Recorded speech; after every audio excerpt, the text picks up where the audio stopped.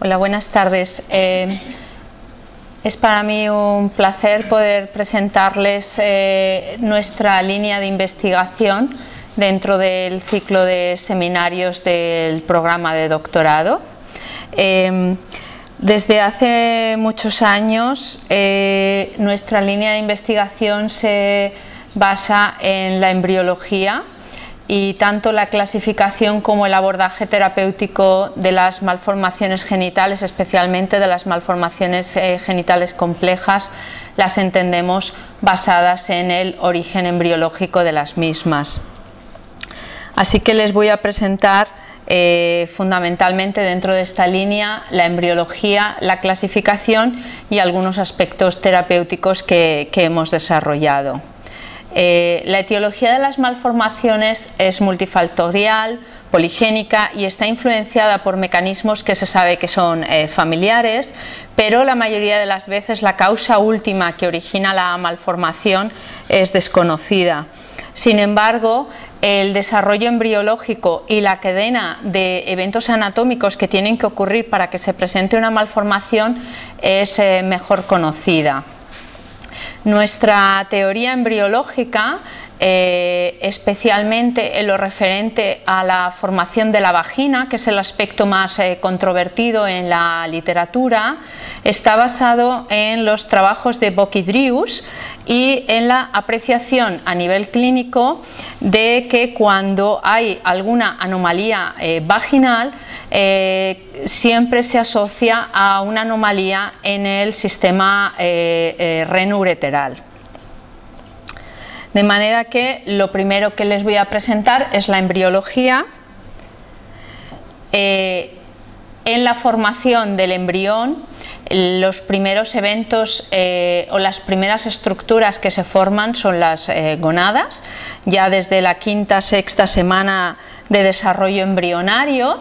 En la parte dorsal del mesenterio del embrión hay dos repliegues eh, que son llamados las crestas urogenitales. Estas crestas urogenitales, estos repliegues, tienen en su porción más interna unos engrosamientos que son las crestas gonadales. En su espesor están situados los conductos mesonéfricos o wolfianos y más externamente en esta etapa embrionaria, hacia la sexta semana, está comenzando la invaginación de los conductos paramesonéfricos o de Miller. Desde la parte dorsal del saco vitelino tienen que migrar los gonocitos hacia la cresta gonadal y lo hacen atraídos por una sustancia quimiotáctica que se llama teloferón.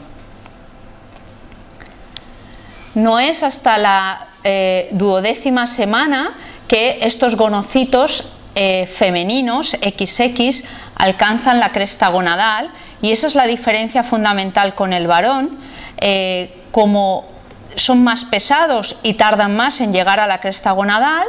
para cuando llegan a la misma, la primera red de cordones sexuales ha pasado y es ahora la red eh, de cordones sexuales secundarios la que en la corteza de esta cresta gonadal envuelve a cada gonocito de manera independiente, dando lugar a lo que se conoce en la vida adulta como los eh, folículos primordiales es después de este momento, semana 12, cuando en ausencia de hormona antimuleriana y de testosterona, los conductos de Wolf se atresiarán en la mujer y los conductos de Miller se desarrollarán. Mientras tanto, eh, alrededor de las 7, 8, 9 semanas, estos conductos mesonéfricos o wolfianos que estaban en el espesor de esta cresta eh, urogenital convergen, son conductos excretores, convergen y descienden hacia el seno urogenital al que abocan. En su exterior o lateralmente, esa invaginación de los conductos eh, mm, eh, paramesonéfricos o mullerianos se mantienen externos lateralmente y posteriormente los cruzan ventralmente y se reúnen en la línea media en una estructura en forma de Y que es el primordio uterino, pero que característicamente y a diferencia de los conductos wolfianos, estos conductos de Miller no alcanzan el seno urogenital.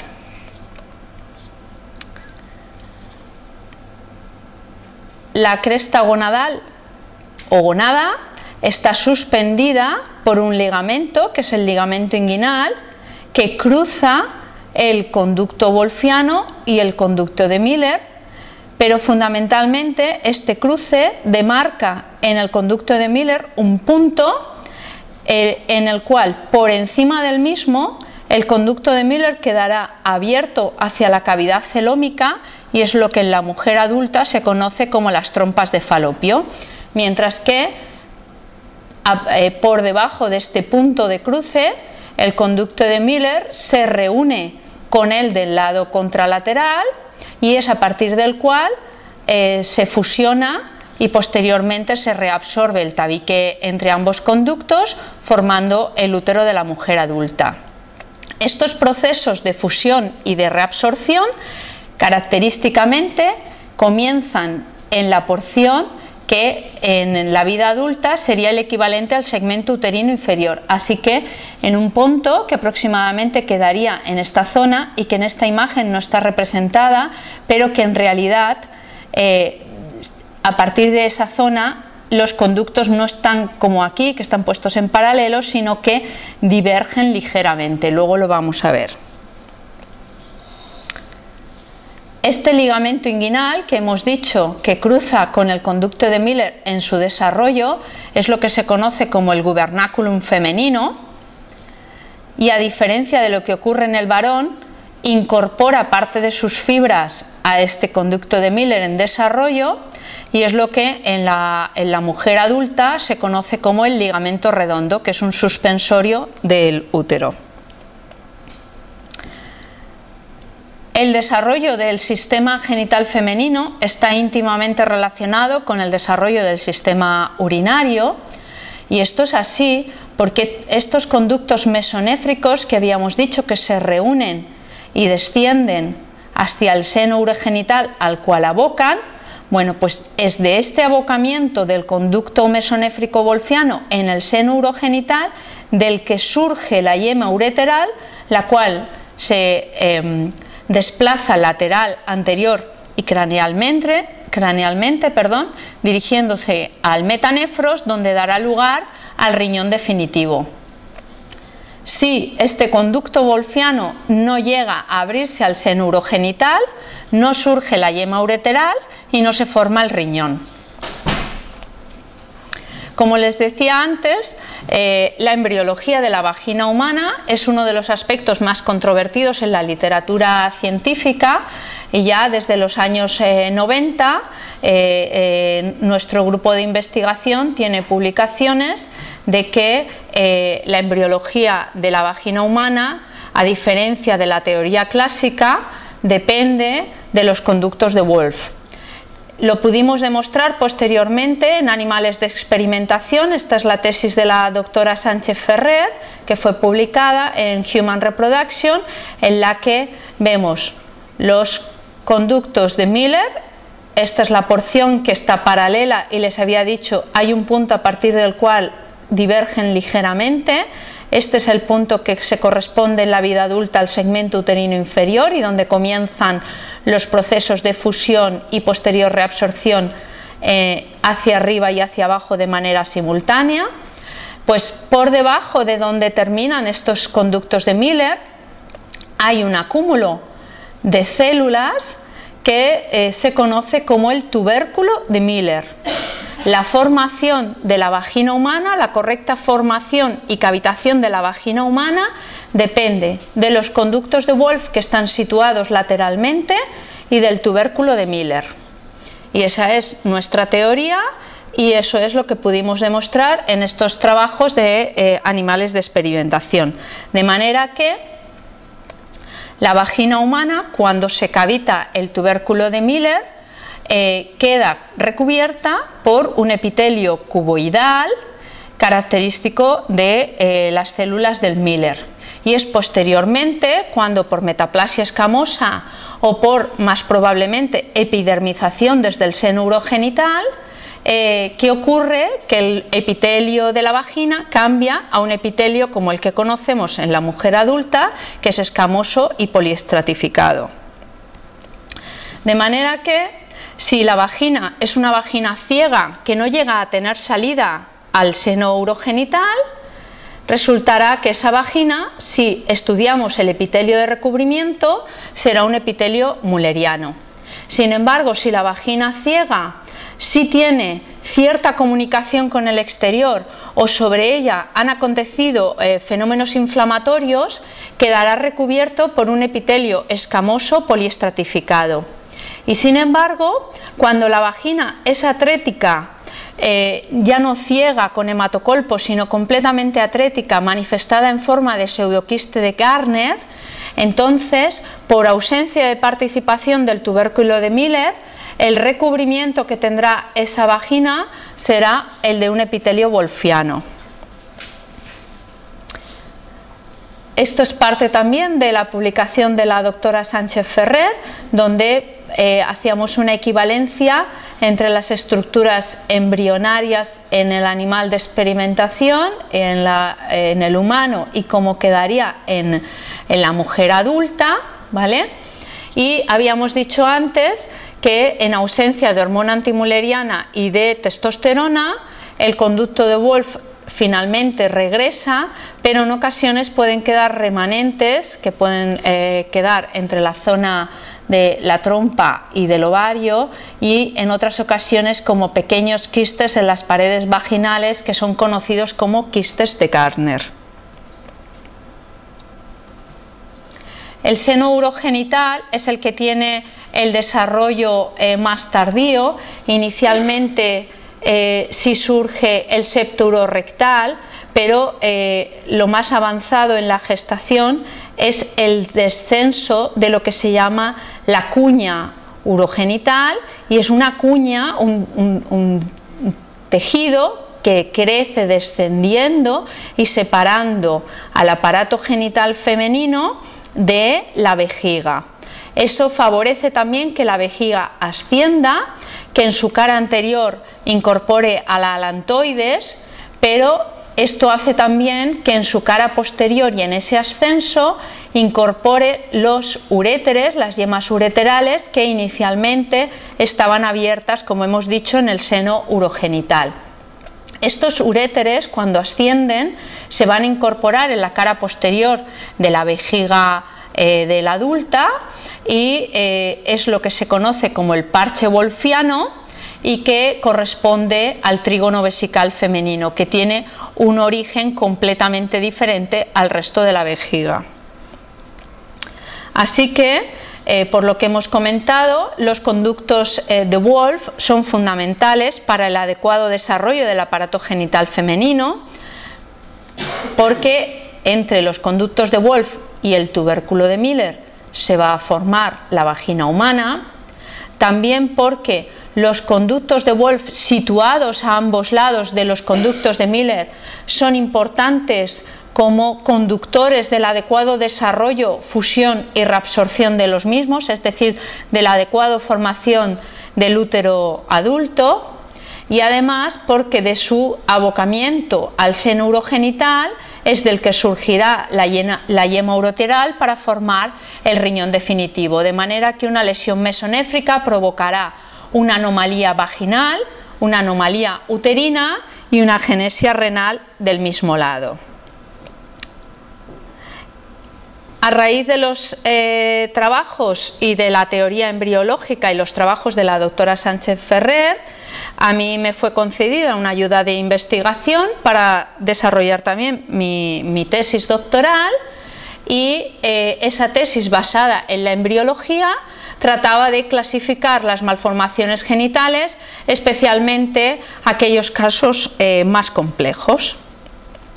Así que, eh, según el punto donde se ha producido la lesión, Así clasificamos nosotros eh, las malformaciones de la mujer.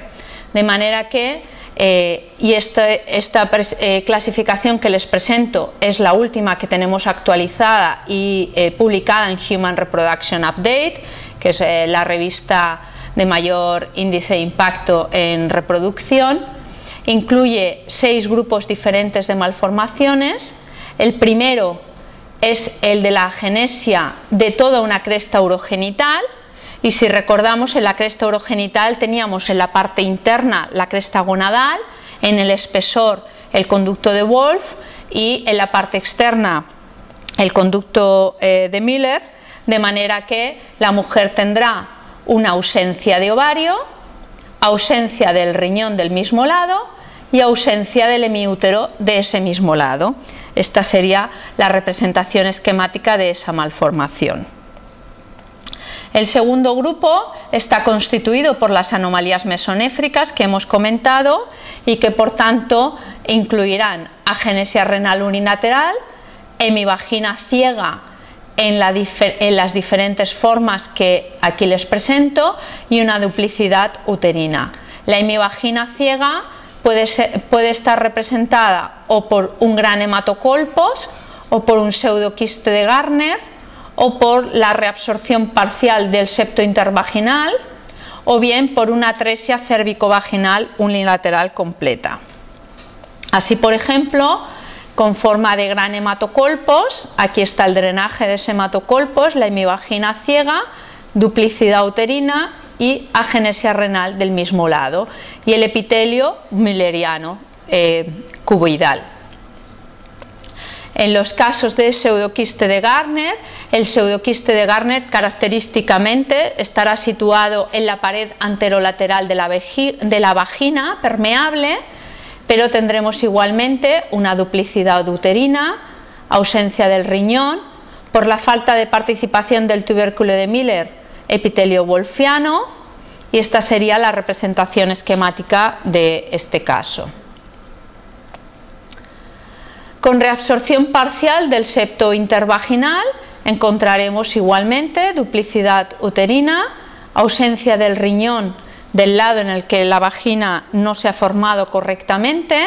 y podemos ver aquí con el espéculo colocado cómo existe un ojal también característicamente situado en la cara anterolateral de la vagina permeable que es el ojal que da acceso al cervix de ese lado y lo ven aquí representado con dos cánulas para hacer una histerosalpingografía de cada uno de los hemiúteros de la paciente. Esta sería la representación esquemática de este tipo de malformaciones. Existe una cuarta forma de presentación de lo que son la vagina ciega con agenesia renal del mismo lado, eh, que estaría representada por la atresia cérvico-vaginal con comunicación entre miúteros y esto es importante porque si nosotros no estamos atentos, cualquier ginecólogo general podría interpretar esta histerosalpingografía como la de un útero bicorne unicolis y nada más. Sin embargo, es este útero o esta malformación uterina es secundaria a la anomalía mesonéfrica y la paciente presentaba también agenesia renal de ese mismo lado. Y tenemos también publicados que los resultados perinatales no son iguales a igual malformación uterina,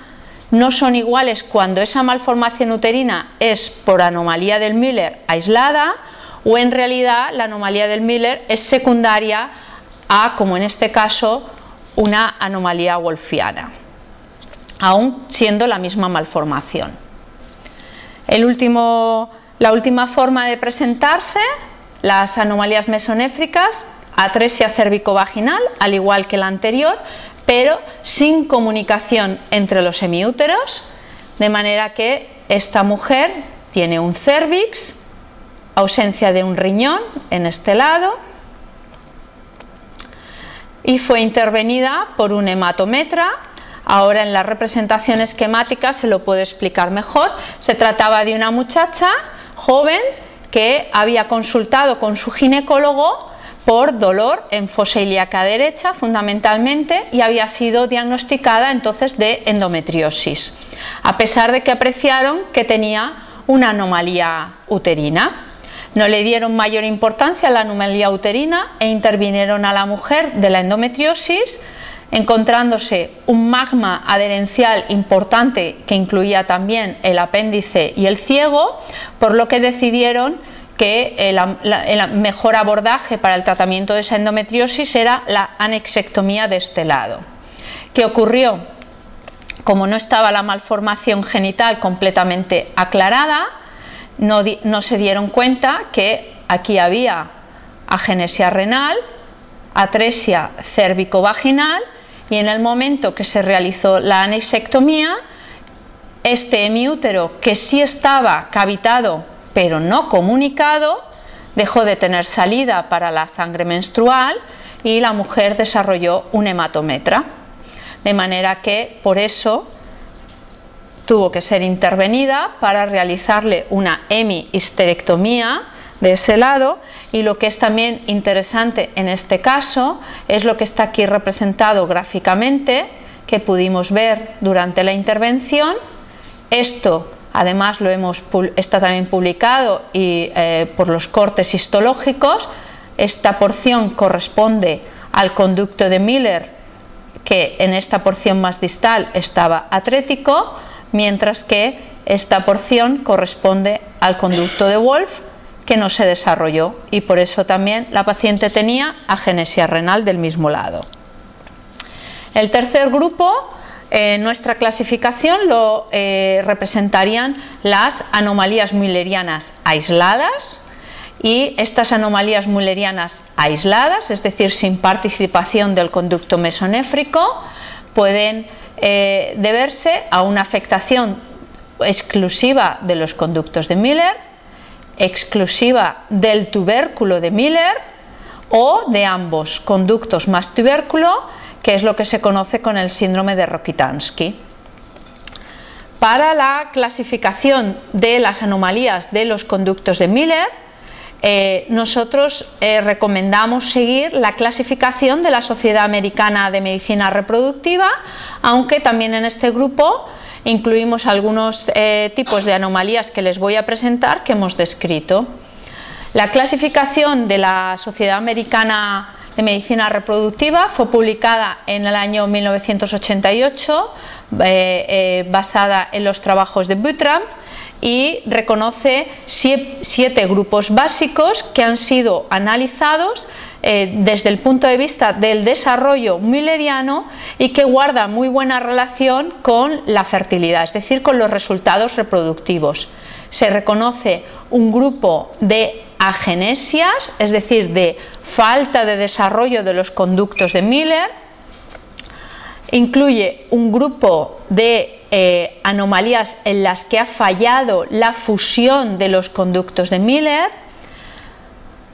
el uterosepto que se debe a un fallo de la reabsorción posterior del tabique entre ambos eh, conductos de Miller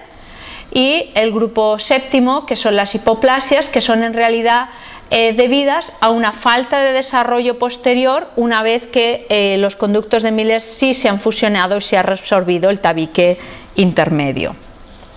Ahora bien, en, eh, en, la clasificación de la Sociedad Americana de Fertilidad, el grupo 2 lo constituye el útero unicorne. Para nosotros, útero unicorne únicamente serían estas dos formas, claramente. Sin embargo, aquí se incluyen también dos, eh, subtipos de útero unicorne que se podría discutir si realmente son úteros unicornes o realmente corresponden a bicornes, como luego les presentaré con algunos casos que pueden ser eh, precisamente controvertidos. El útero didelfo es una falta de fusión completa entre ambos conductos de Miller de manera que quedan dos hemiúteros completamente independientes y que se distinguen en la vía laparoscópica porque incluso hay un repliegue peritoneal que va desde la vejiga hasta el recto, doble cervix y frecuentemente también vagina septa. En un grado menor de ese fallo de fusión quedaría el útero bicorne, en la que al menos una porción a nivel del segmento uterino inferior sí que ha acontecido eh, cierto grado de fusión y eh, aquí se distinguen dos subtipos que serían el bicolis, es decir, con doble cervix, o el unicolis. El uterosepto es la falta de reabsorción posterior del tabique una vez ha fusionado el útero, de manera que externamente el útero tiene una forma completamente normal y el tabique puede ser completo o subsepto. El útero arcuato es para muchos eh, reconocido como una variante de la normalidad, sin embargo para nosotros, al igual que para Butram, que fue el que eh, eh, realizó esta clasificación, sería una variante que sí que tiene mal resultado reproductivo y nosotros entendemos el útero arcuato como una forma menor de útero bicorne. Y este grupo séptimo que les decía es la falta de desarrollo posterior de los conductos de Miller. En ocasiones quedan tan hipoplásicos como en esta paciente que tiene un útero con una cavidad completamente eh, filiforme. Les decía que dentro de lo que sería la afectación de los conductos paramesonéfricos de Miller, nosotros reconocemos no solo las formas clásicas, por así decirlo, de la clasificación de la sociedad americana, sino que hemos eh, publicado algunas malformaciones que no serían tan claramente clasificables por la misma, como sería este caso con defectos sementarios o las que presentamos en este otro trabajo y que se deben a una discrepancia entre los procesos de fusión y reabsorción debidos a que ocurren de manera diferente a partir de ese inicio que les he dicho que acontece en el segmento uterino inferior. De manera que, por ejemplo, este diagrama representa la malformación de esta paciente, donde el útero es completamente didelfo, completamente independiente, y sin embargo, a partir de un punto muy muy bajo, segmento uterino inferior casi a nivel de orificio cervical interno, presenta un solo cervix. Según la clasificación de la Sociedad Americana de Fertilidad, este, este caso no sería clasificable. Al igual que, por ejemplo, este otro, que representa esquemáticamente esta paciente, sería un útero con una apariencia externa completamente normal por un septo interno, pero que sin embargo tiene doble cervix y vagina septa. Esto es debido, como les decía, a que desde ese punto a nivel del segmento uterino inferior, en dirección craneal y caudal, deben acontecer primero la fusión y posteriormente la reabsorción y en ocasiones se presentan eh, de manera discordante entre la porción superior y la inferior. La clasificación de la Sociedad Americana de Fertilidad reconoce un primer grupo, que es el de las hipoplasias, pero eh, se incluyen aquí una gran miscelánea de hipoplasias o agenesias, tanto de vagina como de cervix, como la combinada, como la uterina, etc. Para nosotros, por tanto, no resulta funcional porque eh, las agenesias que estarían representadas aquí, este grupo, se corresponde a anomalías del tubérculo de Miller, como en esta paciente, con un útero completamente normal y sin embargo una ausencia de la porción cérvico-vaginal, de manera que tuvo que ser primero intervenida para la formación de una eh, neovagina y posteriormente, cuando la neovagina estaba epitelizada, para la implantación eh, del cuerpo uterino en la neovagina. Esta mujer, después de varias intervenciones, eh, quedó eh, espontáneamente embarazada y dio a luz una niña sana y es un caso que tenemos publicado y por el cual también hace un par de años nos llamaron a Alemania para operar eh, dos pacientes de características similares a la, nuestra. Y el último grupo de las anomalías mullerianas es cuando están afectados los conductos y el tubérculo de Miller y es lo que está representado con el síndrome de Mayer-Rokitansky-Kunsterhauser o más conocido como síndrome de Rokitansky, donde falta completamente el desarrollo uterino y la vagina. Hemos descrito también eh, el síndrome de Rokitansky unilateral, como en esta paciente, donde se puede ver la ausencia de desarrollo uterino en uno de los lados, con una vagina que no se aprecia, que no es permeable porque está la del lado contralateral, con riñón normal. El cuarto grupo de nuestra clasificación son, las anomalías, está representado por las anomalías del gubernaculum,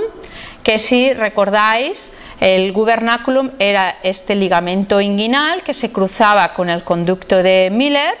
y que en su cruce incorporaba parte de sus fibras a la superficie del mismo para dar lugar al ligamento redondo. Las anomalías del gubernaculum estarían representadas entonces por lo que hemos eh, publicado como masas uterinas accesorias, que se ve aquí, en mujeres que por otro lado tienen úteros completamente normales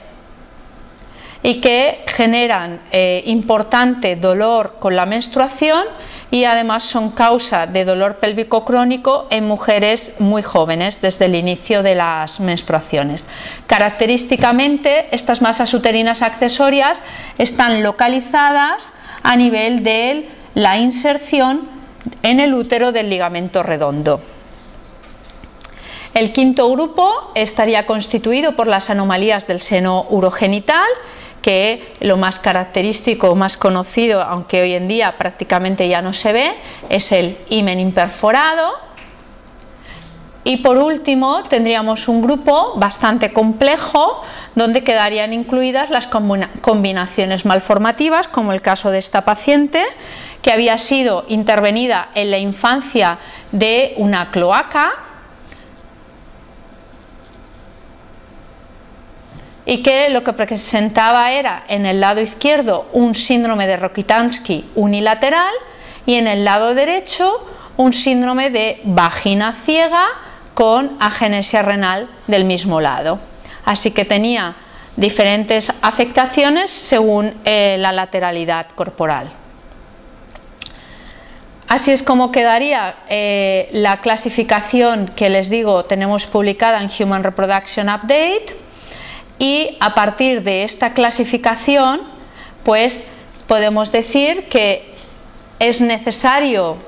para las malformaciones uterinas y para comparar resultados perinatal entre nosotros pues seguir una clasificación como la conocida de la Sociedad Americana de Fertilidad que se basa únicamente en el desarrollo mileriano pero que en caso de que encontremos algunas malformaciones como el útero bicorne o masas accesorias, etcétera, tenemos que recordar siempre que en el estudio de esas malformaciones debemos incluir alguna prueba de imagen, pielografía, resonancia o algo que nos asegure que el sistema urinario no está afectado porque si lo está, la malformación puede ser mucho más compleja y como les he dicho antes, los resultados perinatales son diferentes. De manera que cuando eh, cataloguemos un caso o utilicemos la clasificación para catalogarlo, nosotros recomendamos siempre recordar la embriología para su clasificación y desde luego para antes de hacer cualquier decisión terapéutica sobre la misma. Por eso, el último grupo de eh, diapositivas que les voy a presentar tiene que ver con el tratamiento de las malformaciones genitales y especialmente de las malformaciones genitales complejas. Publicamos un caso, eh, un trabajo, perdón, eh, de nuevo en Human Reproduction Update este año pasado sobre el tratamiento de las malformaciones genitales, especialmente de las malformaciones genitales complejas porque la mayoría de las malformaciones comunes, las que les he presentado, las que se pueden seguir con la Sociedad Americana de Fertilidad, pues típicamente no van a requerir de cirugía, sin embargo, la mayoría de los casos complejos sí van a requerir eh, una cirugía que muchas veces es simple, pero que si no tenemos en cuenta la embriología y no tenemos en cuenta la, correcta interpretación de la, anomalía que tenemos delante, podría ser un acto terapéutico inapropiado o completamente innecesario. Para nosotros, anomalías eh, genitales complejas lo definimos en este trabajo como aquellas que afectan a más de un órgano o a más de un estadio del desarrollo embriológico, pero algunas otras como las que causan síntomas severos o pueden ser causa de un diagnóstico diferencial difícil. Y, e, siguiendo esa definición de malformación compleja, eh, tenemos publicado que las complejas suponen un 17% de todas las malformaciones genitales eh, femeninas.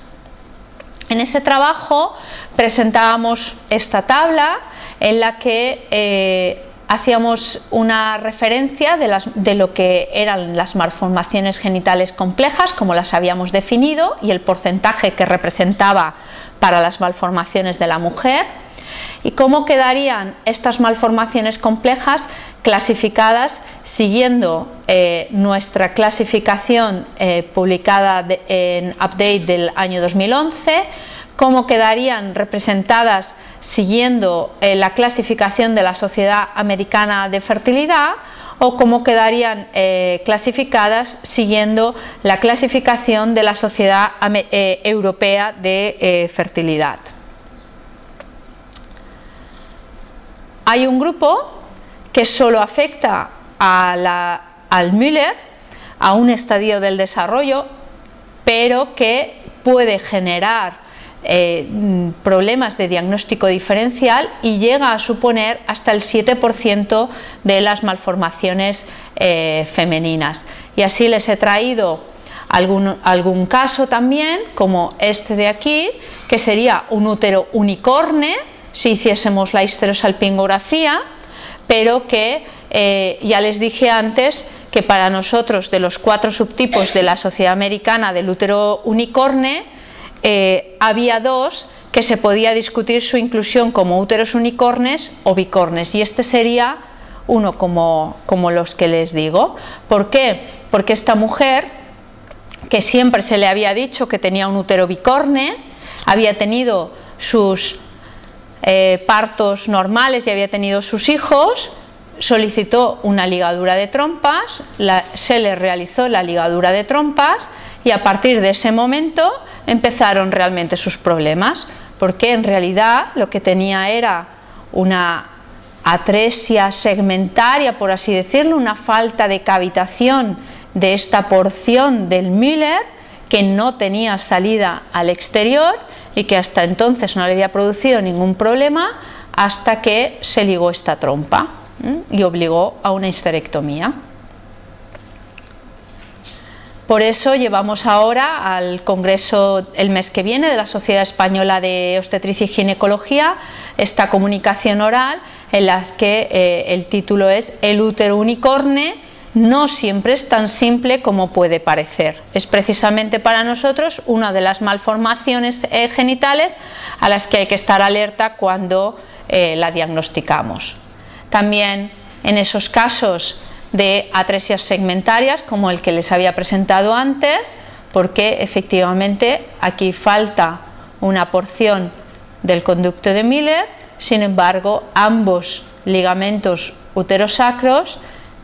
van a abocar al conducto de Miller que sí está eh, conectado con el exterior. Pueden llegar a ser casos muy complejos también eh, los septos vaginales transversos por atresias segmentarias del tubérculo de Miller, donde en ocasiones se precisa una plastia en Z para su resolución, o estos otros casos donde pueden haber pasado desapercibidos y presentarse con la mujer de parto y un supuesto cervix que no se dilata. Son también muy complejos los eh, casos de anomalías del seno urogenital, sobre todo por falta de formación de esa cuña urogenital que les había comentado debe crecer ascendiendo la vagina, eh, la vejiga e incorporando los uréteres en su cara posterior y que pueden llegar a tener como consecuencia la formación de una fístula bésico-vaginal representada por menuria cíclica en la mujer. De manera que, eh, de nuevo, el conocimiento embriológico es fundamental para entender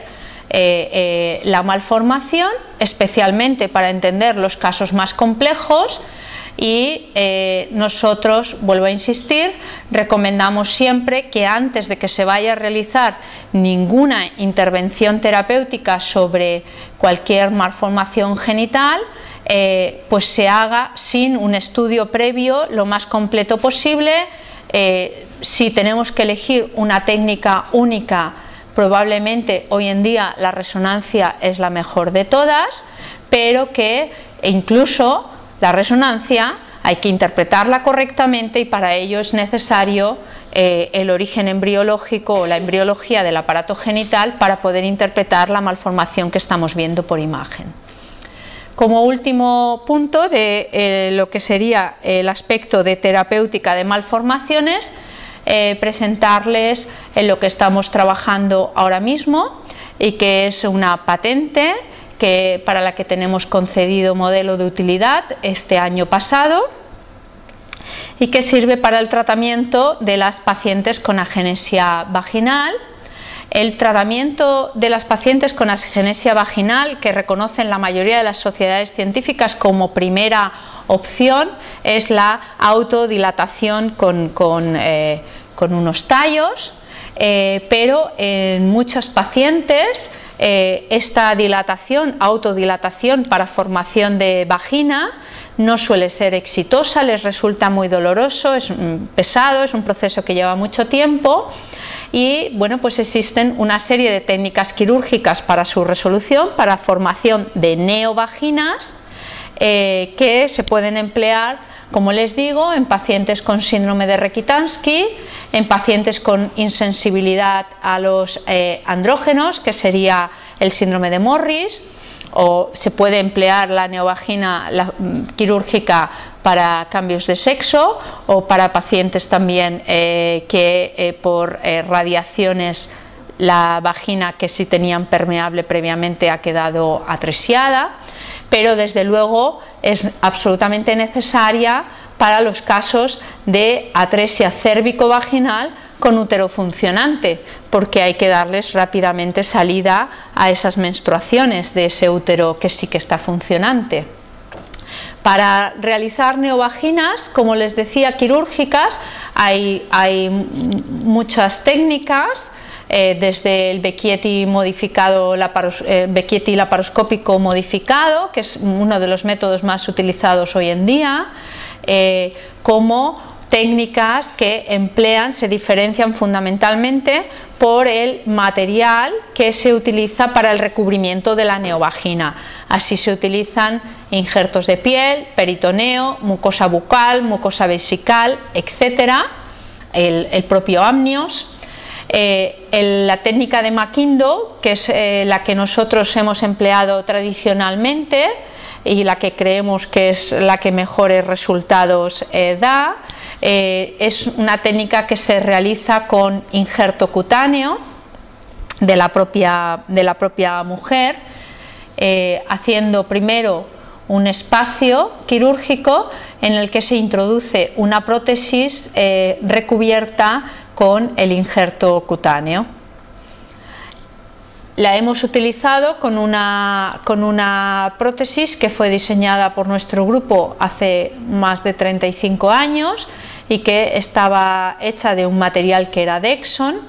y como les digo eh, habíamos variado la técnica en los últimos años para no utilizar tanta piel, tantos eh, fragmentos de piel acompañándola de un, material antiadherente que es el, el Intercit. Los mayores inconvenientes de esta técnica es que generan una cicatriz en el punto del que se toma el injerto de piel, el área donante y que además las prótesis, y no es solo la nuestra, las que utilizan los demás grupos y están publicadas, son eh, prótesis que son pesadas y muy firmes y por tanto favorecen o en, ocasiones ocurre que se produce una necrosis por, presión, una fístula a, vagina, a vejiga o incluso al,